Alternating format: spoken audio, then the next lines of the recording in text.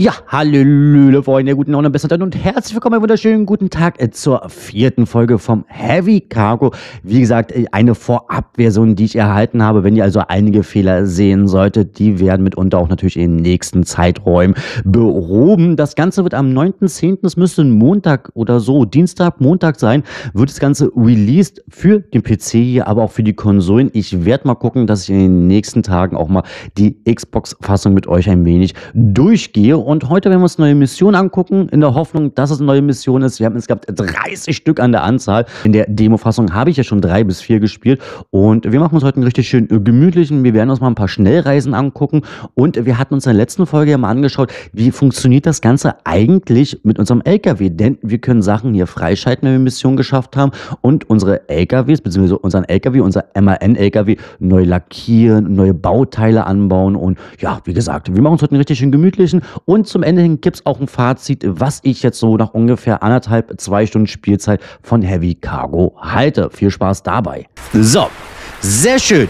Okay, so viel dazu. Mission haben wir geschafft. Wir haben uns auch mal generell so ein bisschen angeguckt.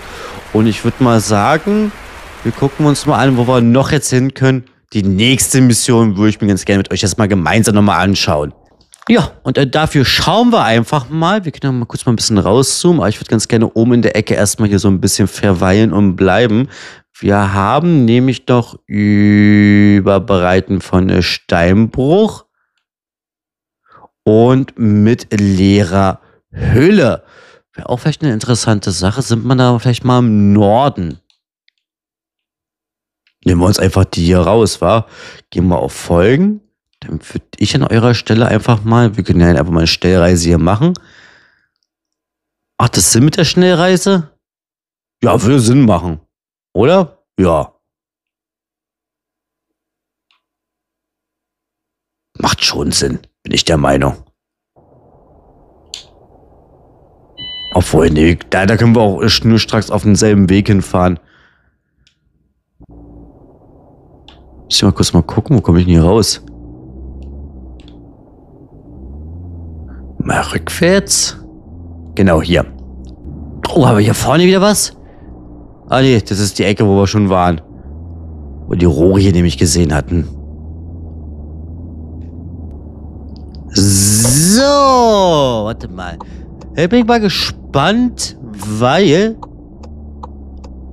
Ich glaube zumindest hatten wir auch eine Demo-Fassung gehabt, aber ich kann mich daran nicht mehr entsinnen.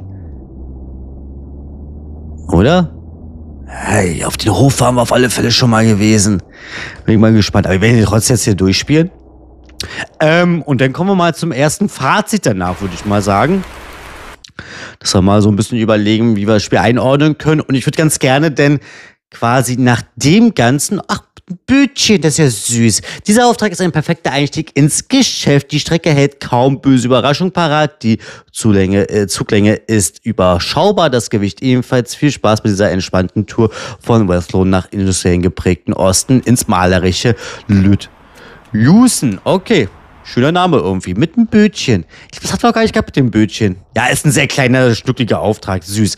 Ähm, nee, wir werden auf alle Fälle mal in der nächsten Folge uns mal angucken. Das ist übrigens unsere Fahne. Die passt da wahrscheinlich nicht so gut drauf. Die wäre wahrscheinlich besser gewesen irgendwo. Äh, aber ansonsten süß gemacht. Ähm, wir werden uns auf alle Fälle nochmal dann das war es dann quasi erstmal gewesen. Jetzt war so die Planung gewesen, das Ganze hier mit einer etwas längeren Live-Premiere-Folge zu machen. Und äh, PlayStation und ähm, und das Ganze nochmal einzeln aufzunehmen, so rum. Und dann würde ich ganz gerne in der nächsten separaten Folge wirklich ganz gerne mal mir die, die Xbox-Version angucken. Und mal gucken, ob ich da mal Falk da irgendwie so ein paar Rede, Frage, Antworten Sachen machen kann, wie es aussieht mit dem Lenkrad-Support, warum es mit dem Lenkrad nicht so gut funktioniert hat, ähm, ob das quasi behoben wird und wie das vielleicht auch generell aussieht mit äh, späteren äh, weiteren Aufträgen. Also 30 sind erstmal sehr viel, muss man auch mal sagen. Ähm, ich denke mal, da wird sowieso ein bisschen Zeit vergehen, weil ich musste überlegen. Also ich bin jetzt schon seit ungefähr zwei Stunden jetzt hier unterwegs mit Tutorial und äh, drei Missionen. Und jetzt erwarten uns einfach mal hier elf Kilometer. Aber wie gesagt, Lenkrad-Support wäre schön, wenn es schnell gefixt wird. Und wir können gerne mal gucken, wie sieht es eigentlich bei der Xbox-Fassung aus. Was wir noch mal kurz gucken können, ist natürlich die Distanz. Und das ist natürlich krass. Aber gut, äh, bisschen Fahrt müssen wir auch haben. Guck mal, wir können hier auch wirklich an mir keine Strecke da entlang. War das schon erstaunlich. Deswegen fahren wir jetzt hier schön unsere 11 Kilometer. Aber die Mission hat man, glaube ich, schon gehabt. Da sind wir schön in den Norden hineingefahren. Ja, meinst du, wir kriegen die Grünphase da ab? So. Schneller, Leute, schneller. Nein. Warum? So. Ja, und wir haben es auch noch geschafft. Die Ampelphase haben wir überwunden. Aber ich finde das so herrlich mit den Lichtverhältnissen. Ich finde das so schön. Wie gesagt, ich blicke halt immer ganz gerne darauf, was wir bei unserer Road gesehen haben, was wir jetzt hier bekommen haben. Und ja, es gibt immer bessere Grafiken. Ähm, aber wie gesagt, unsere Road, wenn man es angeguckt hat, das war halt einfach jetzt heutzutage so ein bisschen vor seiner Zeit. Ist jemand vor mir? Nee. Gar nicht mitbekommen, dass er jetzt noch losgefahren ist. Und natürlich hinblickend darauf, ähm, es ist halt noch für die Xbox, äh, für die PlayStation 4 und für die Xbox One gewesen. Das ist jetzt hier bei Heavy Cargo nicht der Fall. Da kommt jetzt für die Xbox Series X und der PS5 heraus. Aber auch krass. Also die, die PlayStation 5 gibt's auch jetzt schon seit über fünf Jahren. Ist heavy, oder? Seit über fünf Jahren, du dir mal vorstellen. Ist hier jemand vor uns? Ja, da ist er. Den sieht man kaum, wa? Da siehst du mal, was für einen toten Winkel die eigentlich teilweise haben.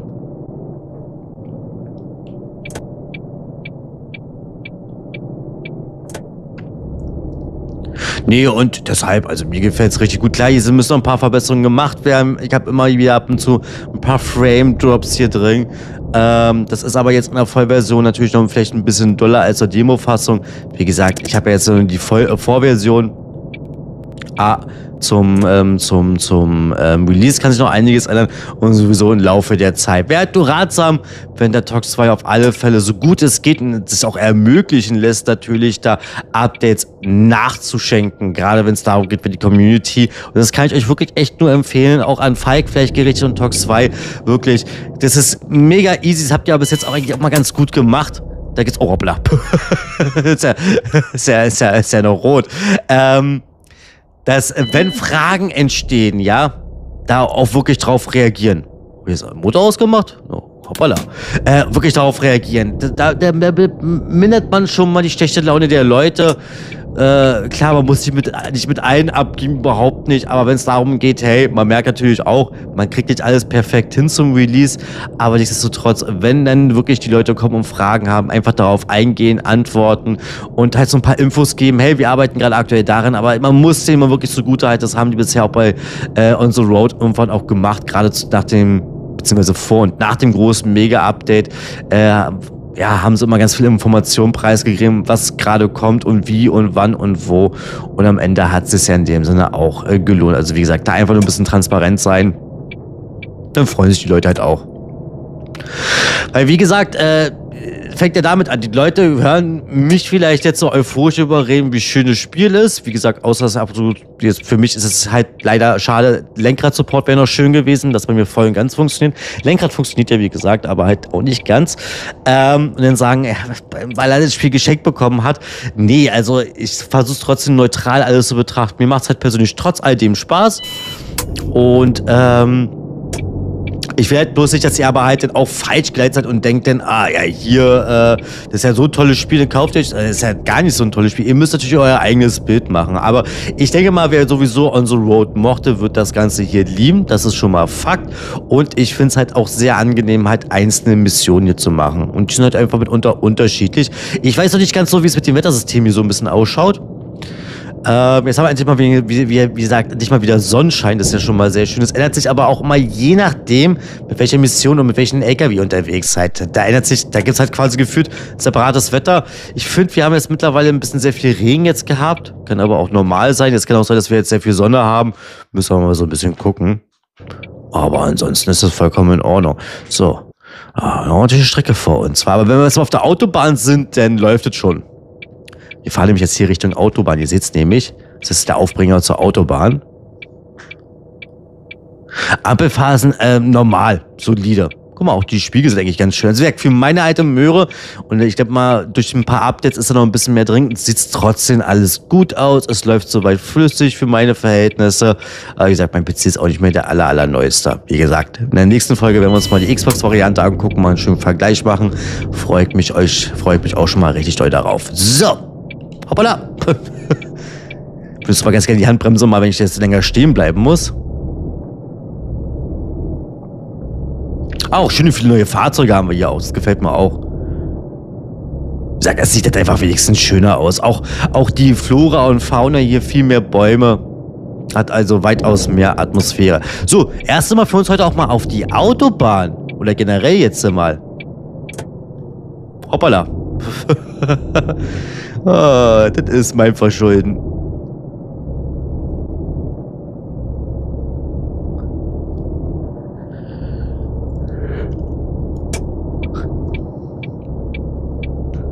So, oh, das ist ein LKW. Schaffen wir es doch herauszubeschleunigen? Ich blink mal.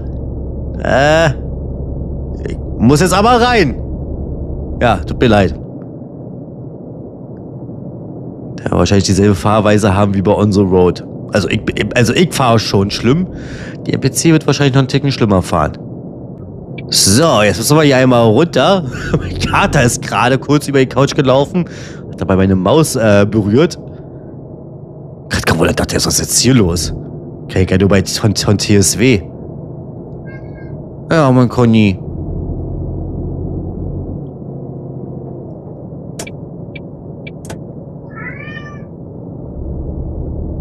Oh, warte mal, wir müssen hier. Hier entlang und dann einmal rechts runter. Ja, Autobahn, äh, da Meter war richtig, war. Guck mal, nur noch sechs Kilometer. Oh, vorsichtig. Schön smoothen Punkt hier finden. Was? Was? Warum soll ich mein Handy nehmen? War wahrscheinlich einfach nur so eine Randinformation gewesen, war? Oder irgendwas verpasst? Das ist voll aus dem Konzept. Da stand irgendwas mit dem Handy. Ach, was wir mal probieren könnten? Äh, wo war das gewesen? Nee, es war der Blinker gewesen. Hier? Differential an.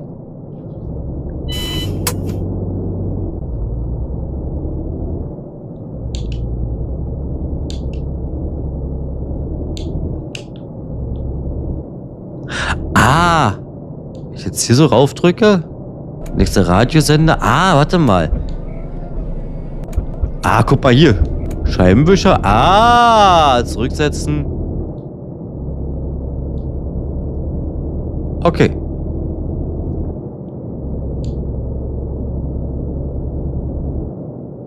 Gut. Cool. Auch nicht schlecht. Ja, unerlaubte Geschwindigkeit. Ich muss aber jetzt ein bisschen Schwung hier nehmen. Weil ja auch hier Heinz gleich hier kommt. Obwohl, sind wir auf der ganz äußersten rechten. Ja, sind wir. Oh, jetzt nicht mehr. Tut mir leid. Man kann mich aber auch mal vorbeilassen. Es gibt aber wirklich die Leute, wa? Kann ja auch nicht schneller machen. Also, guck mal, das sieht aber so schön aus. Oder spielwelttechnisch hat es wirklich was. Ja, die Fahne ist ein bisschen doof. Also ich glaube, ah, ah, ah, auf der Ablage passt nicht so gut.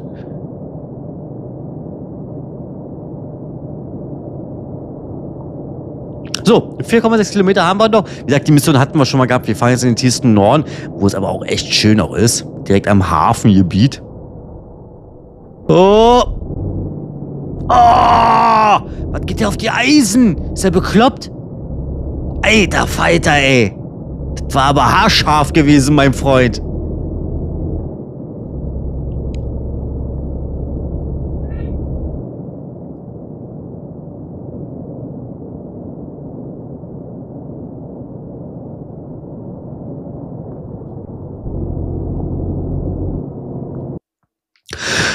Stellreiseort haben wir entdeckt. Ich weiß gar nicht. Wäre mal interessant. Aber ich weiß es gar nicht. Ich, ich, glaube, ich will jetzt hier auch nichts falsch machen. Nee, machen wir jetzt hier nichts. Wenn ich jetzt auch abbrechen gehe, breche ich vielleicht auch die Mission ab. Ja, ich weiß nicht, schon ist nicht meins. 80 km/h auf der Autobahn? Okay. Also ich ja 80 km, aber die dürfen ja schneller fahren hier. Dürfen, glaube ich, mindestens 100 hier fahren.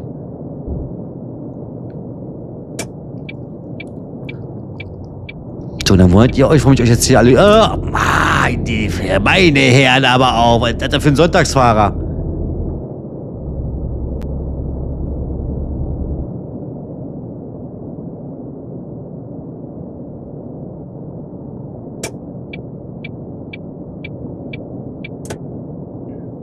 Ich gehe mal Vollzeit aber links. Links ist mir jetzt irgendwie so ein bisschen sicherer.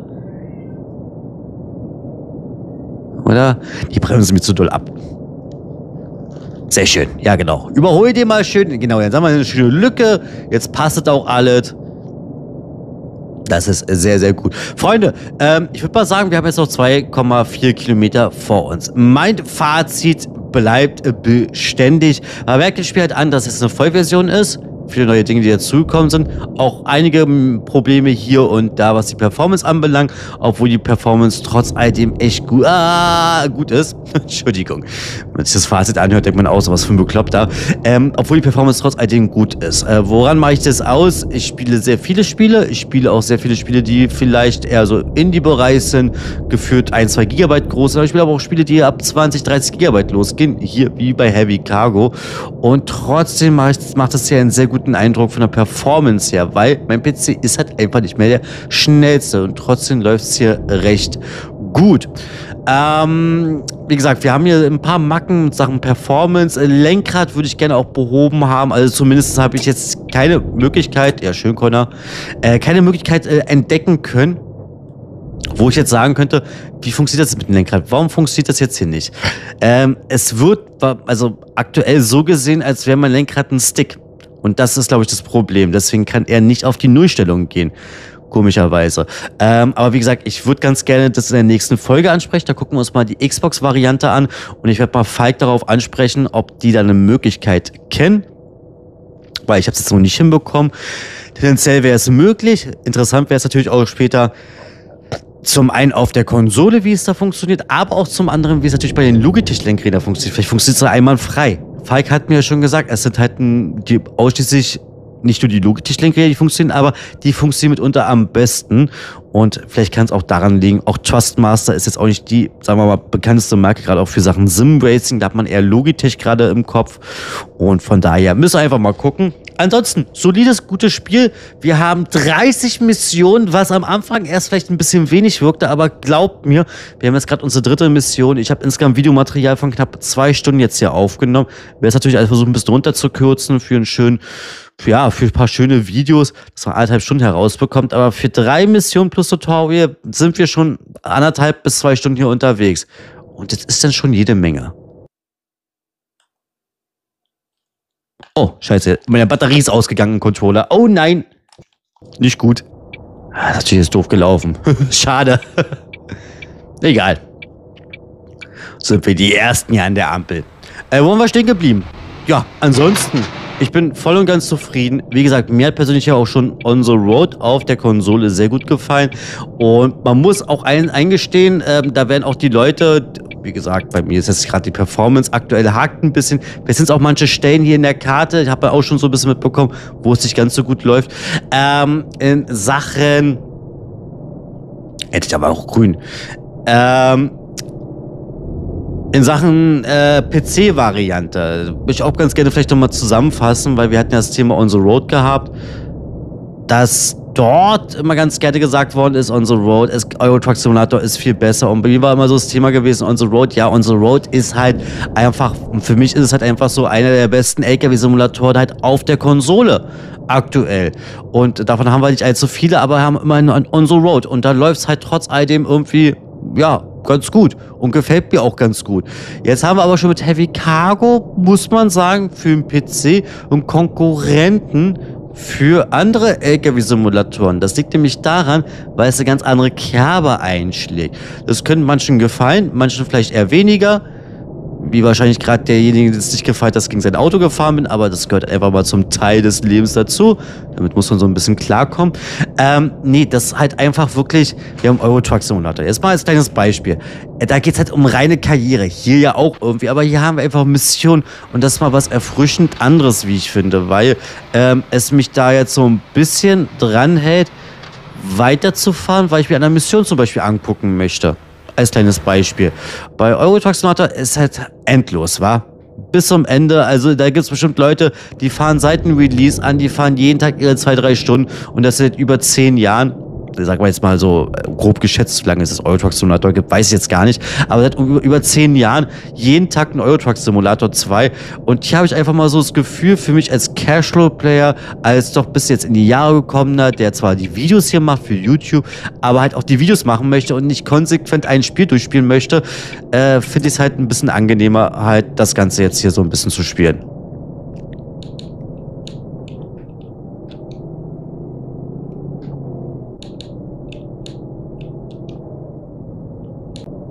So, Freunde, wir sind jetzt auch äh, gleich auch jetzt hier angekommen. Verzeiht, wenn ich ab und zu mal hier ein paar Cuts setzen musste, aber es ging jetzt gerade von der Performance gar nicht.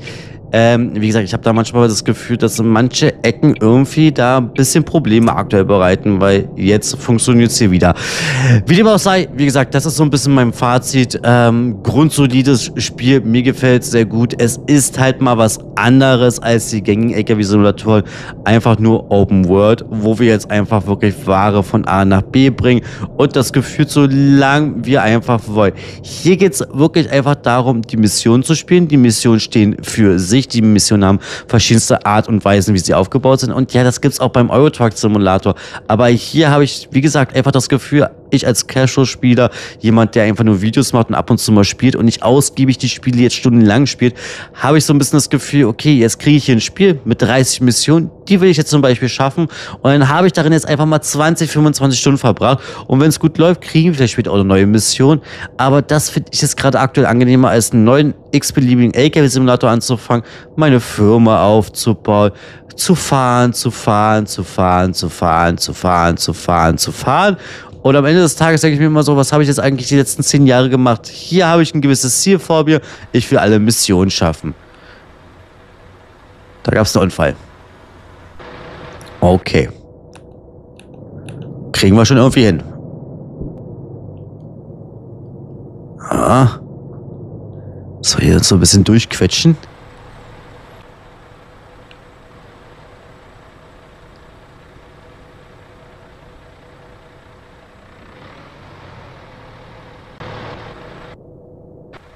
Ja?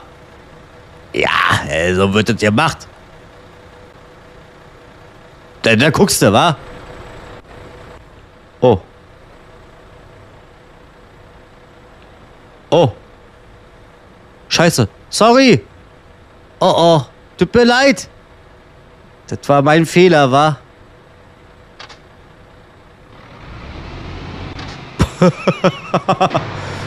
äh, hat keiner gesehen. So. auch nicht schlecht. Nee, ähm, wir steigen mal ganz kurz hier aus, dann gehen wir auch gleich mal in die Markierung aber vorher, wie gesagt. Also.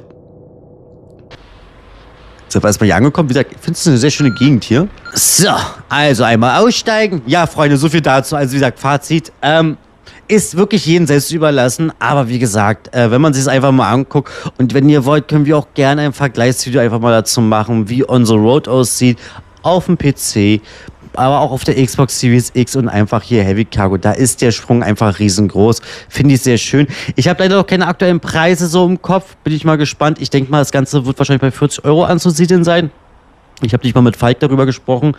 Ähm, 40 Euro ist sehr viel Geld. Würde ich persönlich wieder einmal wieder viel zu viel finden. Aber wie gesagt, da bin ich als Verbraucher sowieso immer sehr meckerisch.